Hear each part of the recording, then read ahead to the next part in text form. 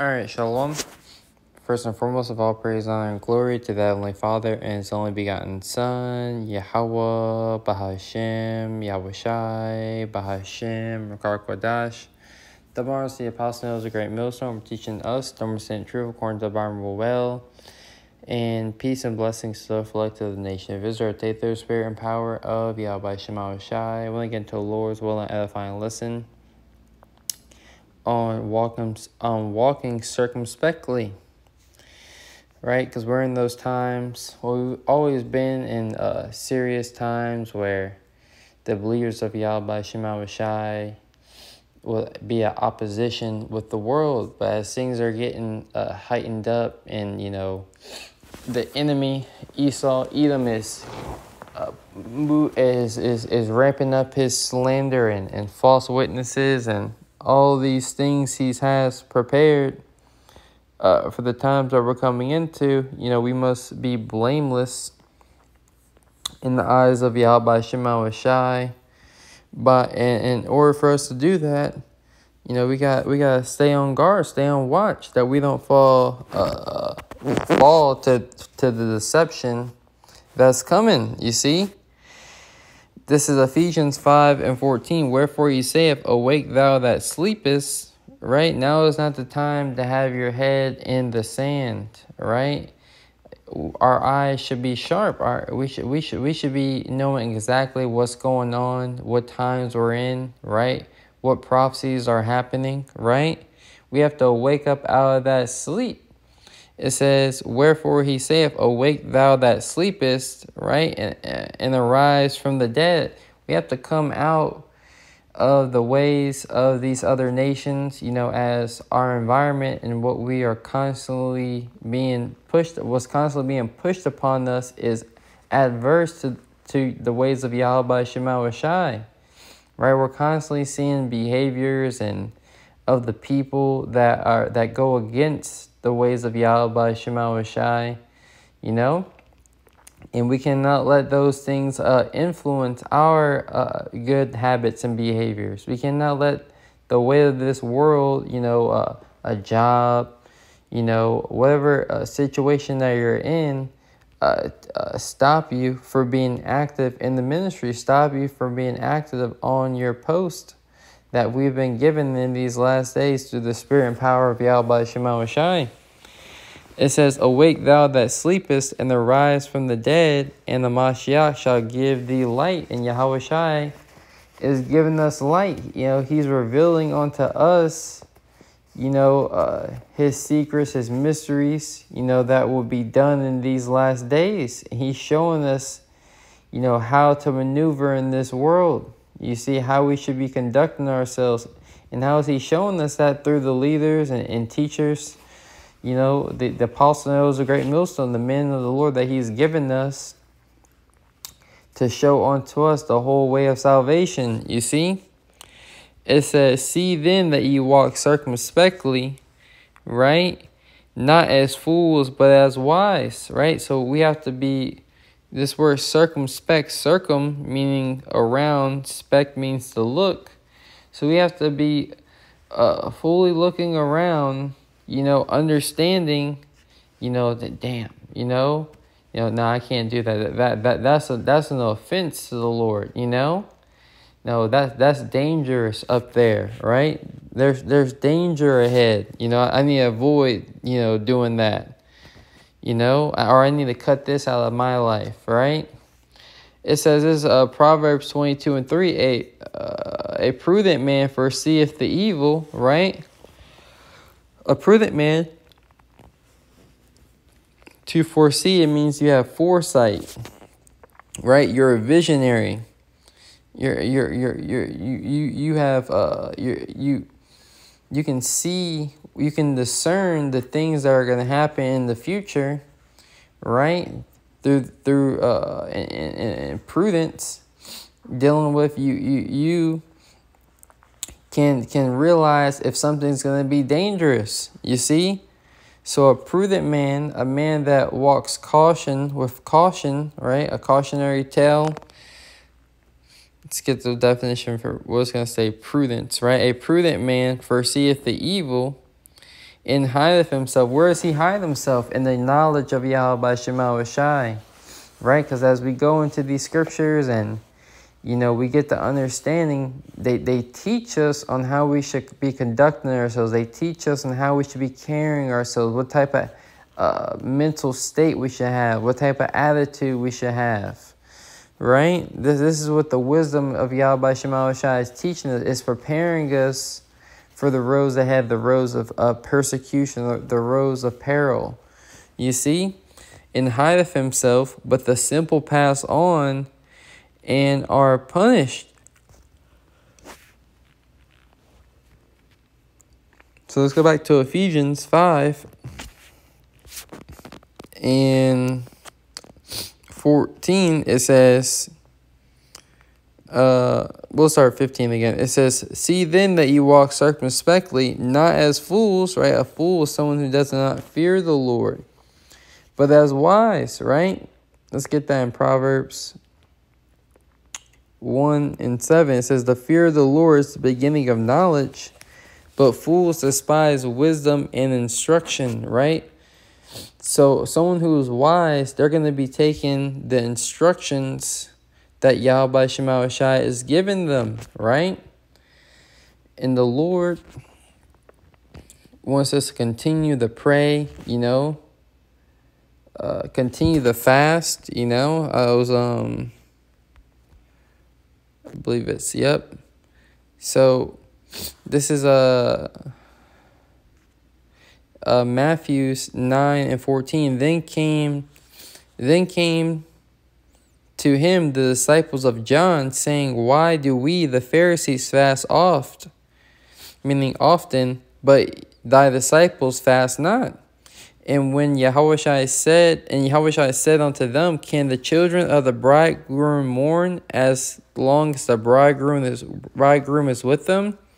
But the days will come when the bridegroom shall be taken away from them, and then they shall fast right? So we should be in the spirit of the fasting, you know? It's written here that the disciples of Yahweh Shema Shai will be fasting, right? You know, refraining, refraining from eating uh, food and, and water, right? And, and also what? You can also fast from uh, your, your pleasures, right? Uh, you know, playing playing video games, you know, uh, uh, you know, all, all these things, you know, that you can apply to your life, that you can fast from, watching TV shows, right? Because we have a job to do. We have to stay upon our watch, right? So you should be distract. You should be uh, trying to implement fasting more. We should be trying to implement fasting more, you know, because everything I say, I'm talking to myself first and foremost, right? Into our walk, right? Intermittent fasting, re- refraining from uh, going on water fast, right? Fruit fasts, right? Detoxing from the chemicals of this world, right? Maybe, maybe, maybe, uh, you know, they have the, these dopamine uh, detoxes you can do, right? This is Ephesians 5 and 15 and 16. It says, redeeming the time because the days are evil, right? Redeeming, right? Should be uh, judging the times, right? You should be able to judge the time that we are in, right? It says of Yahweh freeing the elect from the dominion of the law of Moses at the price of his death by payment, right? Uh, I don't like those definitions, but it says redeeming the time because the days are evil. When you read in the, in the NLT, it says, make most of the every opportunity in these evil days. Right? So we should be able to judge that the times are evil and we should we should understand that hey, we, we, we, the time is short.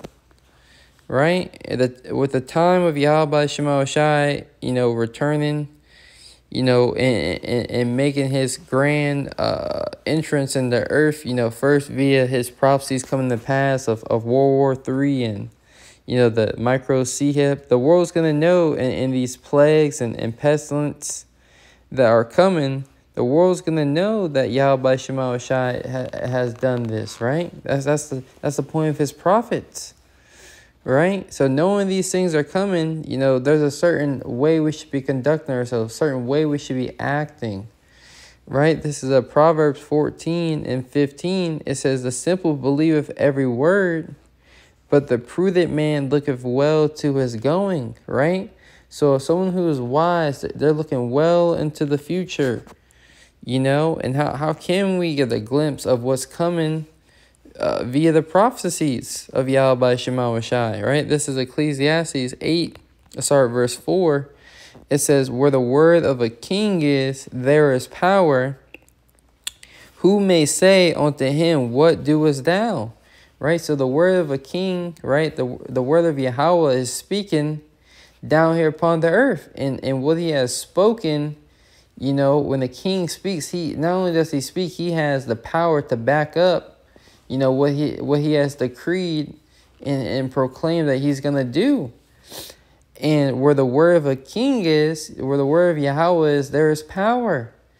Right? So and who may say, unto him, What doest thou? How are you going to stop Yahweh Shema Shai from bringing his word to pass? Whoso keepeth the commandment shall feel no evil thing, right? We're going to be in the midst of this time of trouble, but we're not to we're not to feel it like how you people feel it, right? Uh, the, the, these plagues are coming upon the earth for the wicked and, we must remember that. So in, in our in in our remembrance of that, that should that should inspire us, right, to, to do that which is right in the eyes of Yahweh Shema Shai. Whoso keepeth the commandment shall feel no evil thing, and a wise man's heart, aka his mind, right, discerneth, right? So you're able to discern uh, uh, both time and judgment, right? So you gotta be able to discern what times we're living in, right? Let's get the definition of discern. If it says to, to know, right? To perceive, right? So you should be able to to to, to know uh, exactly what times we're living in, right? and, and you should be able to move you, you should have the spirit of you know spirit should be on you to to to, to walk and, and to move a certain way this is uh second peter's 3 and 11 seeing then that all these things shall be dissolved right nuclear destruction everything when it's all said and done america will uh be uh uh, annihilated by Yahweh Shema Shai when it's all said and done. You see? When it's all said and done, the Lord is going to come back. Yahweh Shai is going to come back and crack those clouds. And, and, and, and, and the only thing that's coming out of uh, Babylon the Great, which is America, are the spirits uh, uh, of the elect. You see, so so what's what, what should you be investing in? Shouldn't you be in, in, in investing in you know, a spiritual growth, right? Spiritual uh, connection with Yahweh Shema Shai rather than the carnal connections of this world. It says, Seeing then that all these things shall be dissolved, what manner of persons, what, what manner means your, your mannerisms, right? What, what mannerisms should you have in these last days? It says, What manner of persons ought ye to be in all holy conversation and godliness, right? And look at this word conversation conversation conversation it's a anastrophe right it says manner of life conduct behavior behavior right so what what manner of life what what mannerisms do you want to add to your life in these last days a holy conversation and, and, and godliness right it says, looking for and hasting unto the coming of the day of Yahweh, wherein the heavens being on fire shall be dissolved, right? Esau Edom's rulership is going to be uh, burnt up by thermonuclear destruction in the chariots of uh, fire, right? A so called black man is going to crack the clouds and, and come back on, on UFO ships and destroy Babylon the Great. You know, it, it sounds crazy, right? But but it's the truth, right? The the truth is stranger than fiction. It says, wherein the wherein the heavens being on fire shall be dissolved, and the elements shall melt with fervent heat. Right? Nevertheless, we according to his promise look for new heavens and a new earth wherein dwelleth righteousness. So we should be walking circumspectly, right? Looking for these signs uh, that will that will, that will come before Yahweh Shai will make his second return.